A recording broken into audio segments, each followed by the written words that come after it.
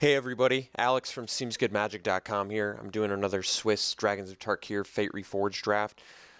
Uh, earlier today, I just uh, posted this second playthrough video for my board game, Travelers of Storia. I'll have the link up here so you can take a look at it. This time it's a two-player game, and two of my friends are playing it, so um, I know that there was some people that wanted to see what the game was like multiplayer, so uh, I made the video for it. So check it out. I'd love to hear some feedback from you guys about that. Onto the pack. Just going to slam a Silumgar Assassin. This card's great. Very good card. Hopefully I'll remember to morph it since uh, they changed the order of cast face down or cast since yeah i'm having a real problem uh, with that but hopefully I won't run into that this draft. Other than that, other good cards in this pack are like Tail Slash, Enduring Victory. I like Stormcrag Elemental, Minister of Pain. Definitely some other good ones, but the rare is pretty awesome. All right, well, pretty easy follow up, I think. We're just going to slam this Deathwind, which is good removal. There's also a Silumgar Butcher, Dutiful Attendant in black. Um, I like Seismic Rupture. I like Sandcrafter Mage. I love Kolaghan Aspirant as well. All of these cards are good, but Deathwind just seems like the sort of obvious good pick.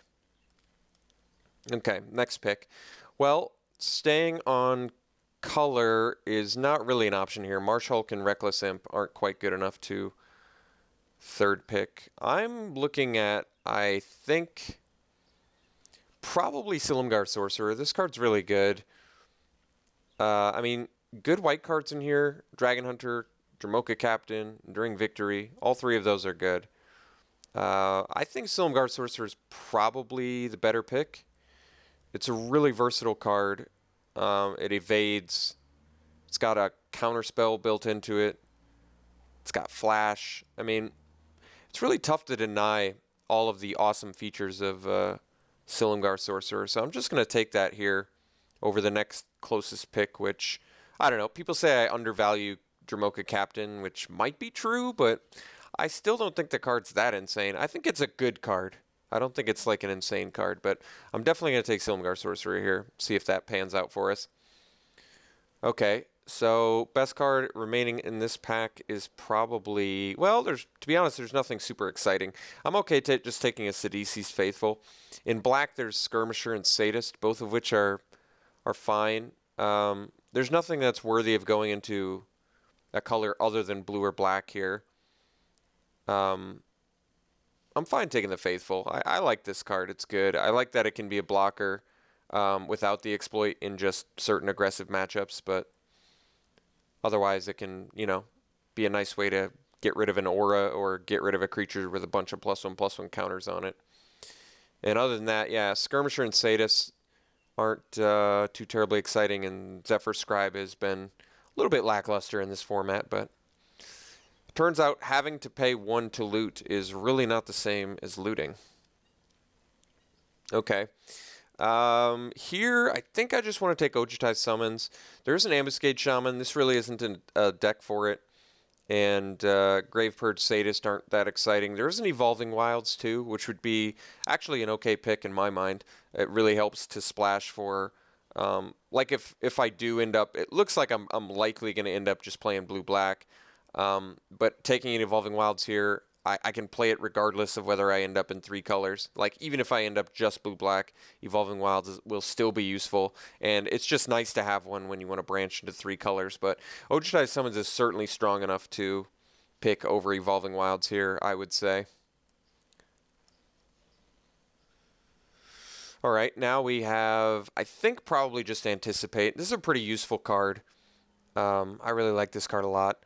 Next closest is probably, I guess, Skirmisher, but once again, it's not really a deck where I really want to play Skirmishers. And Reduce in Stature is playable, but overall pretty mediocre. Uh, Scaleguard Sentinels is probably the strongest card in the pack, but pretty happily taking Anticipate there. All right, it's a fairly late Coat with Venom, which is a really nice card. So I'll pick that here. Next closest, I mean, there's Deadly Wanderings as well, but I'm not a huge fan. Um, it's a hard card to make work. I lost to it really early on um, in Dragons of Tarkir Limited, but I haven't really encountered it much since then. And I've tried to build a deck with it before, but it, it's kind of difficult. You have to have a low creature count to really make it, you know, get some use. And of course, the problem with that being a low creature count deck is is tough to design and make effective. So let's take Coat with, Von- uh, Coat, Coat with Venom. Very good. Ooh, a very late Ruthless Deathfang, which is an excellent card. So pretty happily picking that up here. Um, other than that, nothing too exciting. Wandering Tomb Shell I could consider. It's playable in a deck like this, but never exciting. Summit Prowler, very good card. So is Strong Arm Monk. And Custodian of the Trove is something I could definitely consider in this deck too. But yeah, we're, we're definitely slamming a Deathfang there. All right, Minister tabling is really a great sign, actually. It's on color, and it's got a really nice effect against certain decks, like the heavy Dromoka Warrior or Dragon Fodder decks. You know, you can really cripple them. And at worst, it's a 3 mana 2 3, which is perfectly acceptable too. Other than that, there's a contradict in here. Reckless Imp isn't very good in these decks. It's playable, but you really want to be able to block when you're in blue-black, so let's just take Minister. All right, Dutiful Attendant is pretty much exactly what I'm looking for since we've already got three um, exploit guys. Uh, so uh, Dutiful Attendant is just going to be really useful for that. Other than that, I, I, I wouldn't mind taking a Contradict or a Negate, but I think Dutiful Attendant is a little bit too much of what we're looking for to pass. Uh, all right, I'll take the Marsh Hulk. It's not great, but to me, it's more exciting than the Reckless Imp. Um, once again, I just want to be able to block, and Marsh Hulk's nice also because you can just end up paying six mana and get a four six, which is a, actually a pretty good body in this format. Or you can morph it and you know hope to unmorph it at some point. All right, I'll take the Qarsi Sadist. Not too excited about it. I could take Virulent Plague for a sideboard, but there's really not a lot of token builds, and the problem with it is it kind of kills my own Ojutai summons, which I don't like. So I think I'll just take the Sadist. There's a chance we run it. Not a very good one. Uh, all right, I'll take Mystic Meditation here. I don't mind having a card draw spell. I don't think I'm very likely to play it. I often don't. Here I'm just going to take the Shriek to cut black. All right, I would say a pretty successful pack one. We got some good removal and we got some good uh, exploit cards. So, so good creatures. Everything really was good out of that uh, out of that pack. Um, okay, not a terribly exciting first pick here. I mean, Ambuscade Shaman is clearly the strongest, but it's not what our deck wants. I think we're just going to take Defeat, which is a pretty mediocre removal spell, but um, certainly good enough for what we're running and a very good chance it makes our main deck, so we'll take it.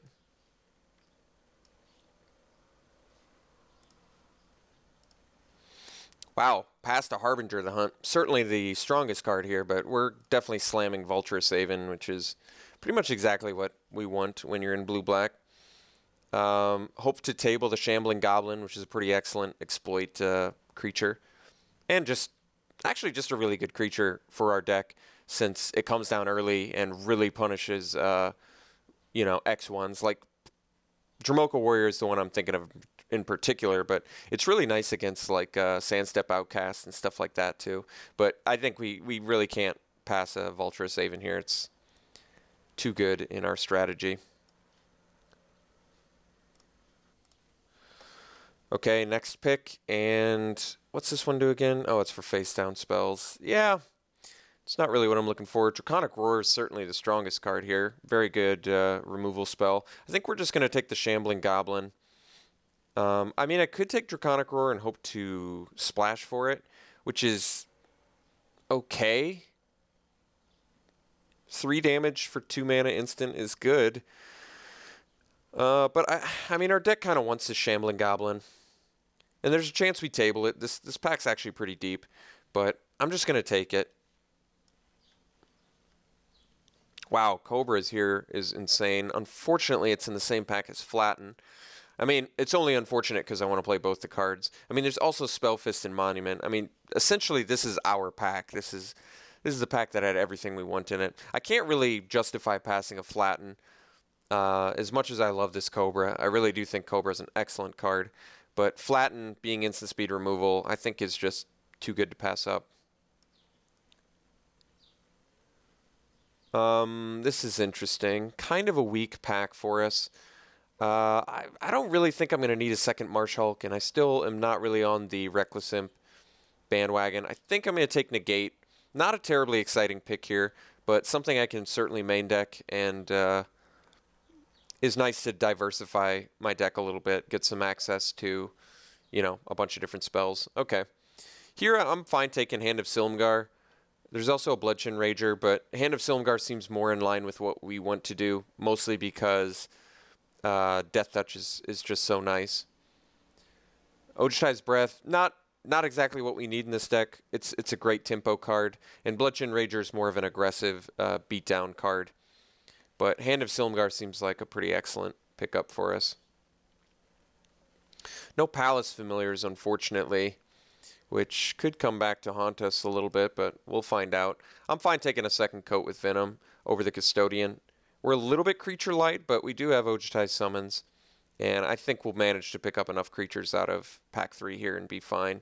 And Coat with Venom is just just an excellent combat trick, so we'll take it.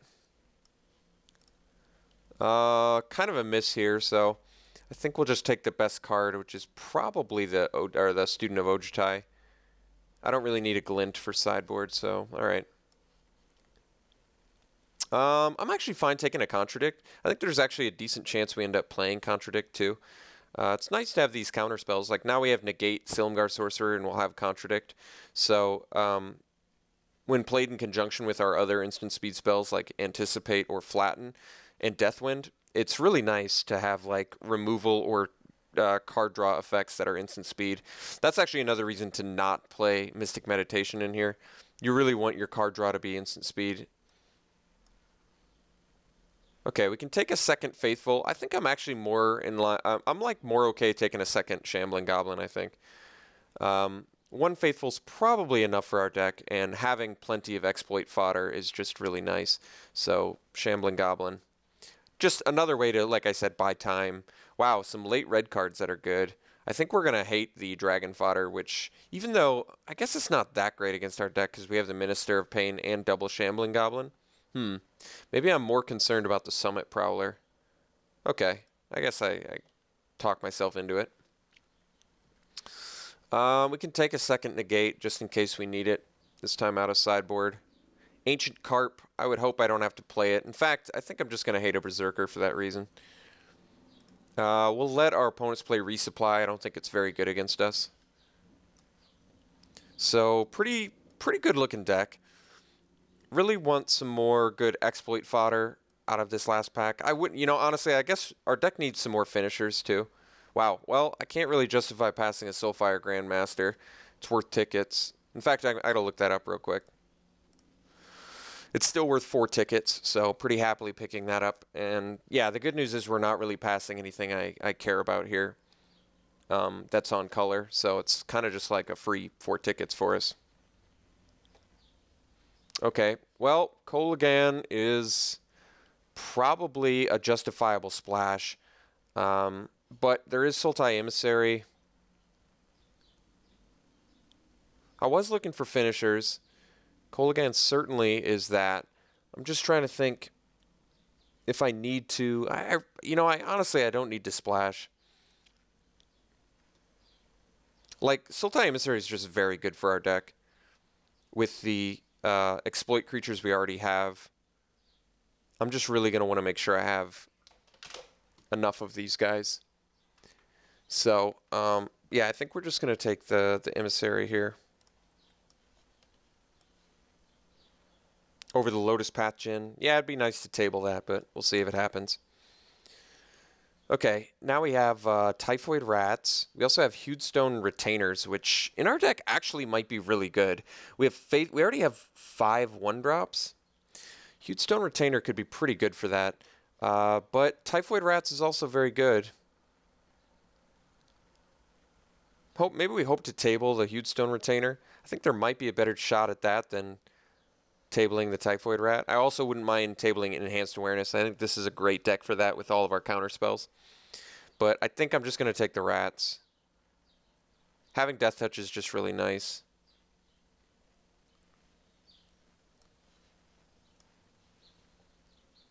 All right, Executioner is some removal, and actually seems really good for us, so I'll take that. I think the weakest card right now in our deck is probably Qarsi Sadist. I don't really like that card, so think we can cut that for Merciless Executioner, get a little bit more removal in here. Okay, so um, there's a second Typhoid Rats. I think I might just want the Enhanced Awareness here, just make sure I get it.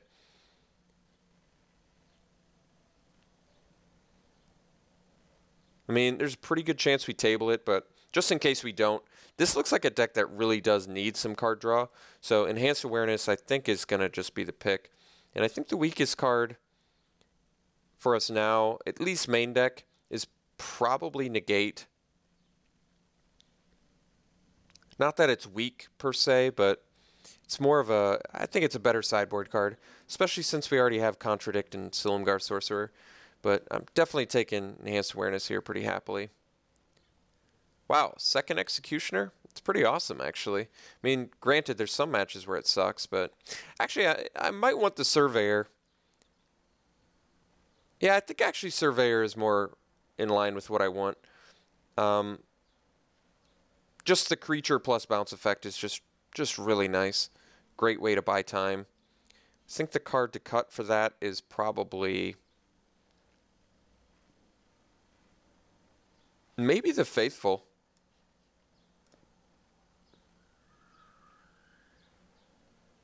Could actually be the faithful. I think it is. It's not that faithful's bad, but just not exactly what this deck needs. All right, Hooded Assassin and Sultai Skullkeeper are actually pretty mediocre cards for this deck. Uh, I think I'm just going to take the Backwater, make our mana a little bit better. Um, I could take Swiftwater Cliffs in case something tables, but it's, well, it's not like Kolaghan's going to table. I'll take it anyway in case there's a red pick that comes up. Like Cunning Strike, probably not worth a splash. Uh, I don't really need Ancestral Vengeance. I think I'm just going to hate uh, Soul Summons, which can be good against us. All right, Ugin's Construct tabled, which is actually pretty interesting. Um, this card is actually pretty good.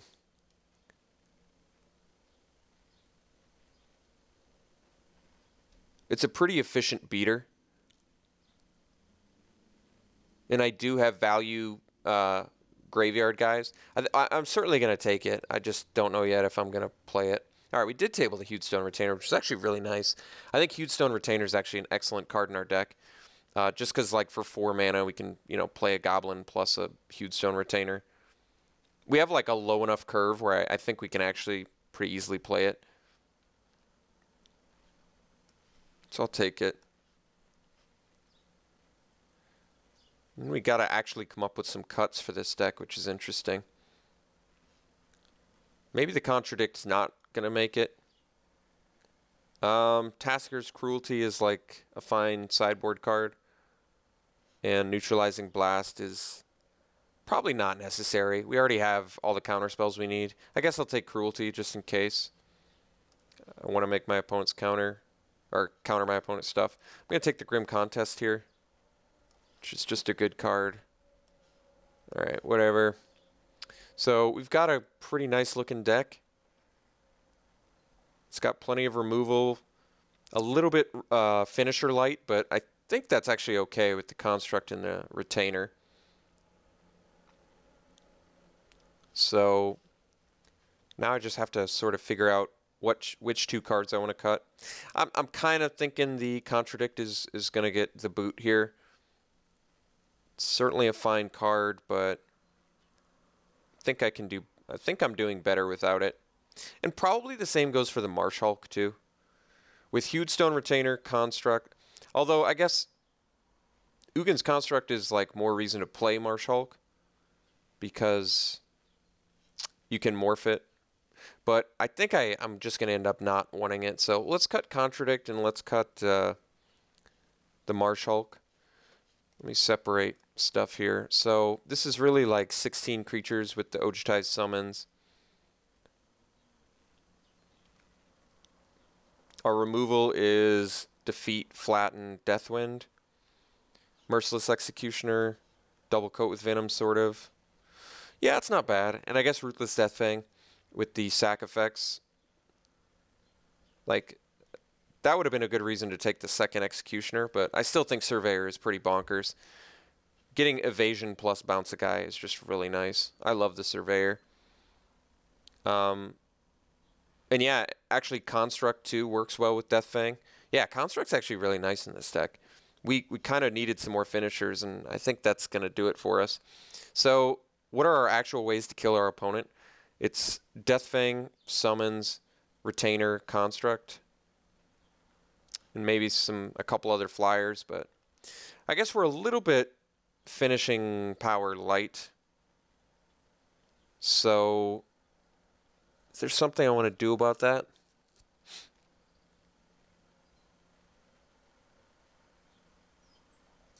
I mean, getting no Palace Familiars and no Youthful Scholars is a bit of a bummer, too. Those are kind of the highlights of uh, playing Blue-Black.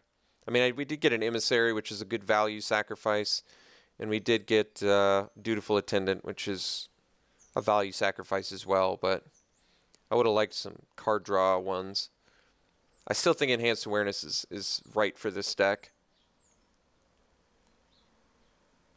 I just feel like we can power out spells pretty easily for the most part. I kind of want to find a way to bring Marsh Hulk back in. Mostly because, like I said, we're a little bit finishing power light. Maybe justifying cutting. I don't know. I kind of like everything. Even like Minister of Pain can be really useful main deck against those certain, you know, aggressive decks. Especially with double shambling goblin. You exploit a goblin, give all your opponents stuff minus one, minus one, and then an additional minus one, minus one. So it's like wipe their board and maybe, you know, kill a bunch of X1s and maybe kill an X2 as well. Just can be really useful. And actually, Hewed Stone Retainer works really well with Rebound, which is nice, nice as well. Um, but that's our only rebound spell, unfortunately. But still, we have so many one drops and two drop spells that Hewed Stone Retainer, I think, is is going to be fairly easy to cast for us. Um, maybe we just forego the Marsh Hulk. maybe it's it's probably not that big of a deal. All right, we'll sort by color. Much more black than blue, but our blue has double blue in it, so I think we're going to want at least eight uh, blue. Something like this. Yeah, I think this makes sense. Um, I like our deck a lot, actually. I think this is a cool deck. certainly not the best deck I've ever drafted, but it's uh, got some it's got some pretty powerful stuff in it. So uh, good removal. Yeah, Silumgar Assassin certainly counts as removal as well. With double coat with Venom is just really nice. So we'll see how this deck plays. I'm I'm uh, anxious to see how it does. So all right, we'll uh, we'll see you round one.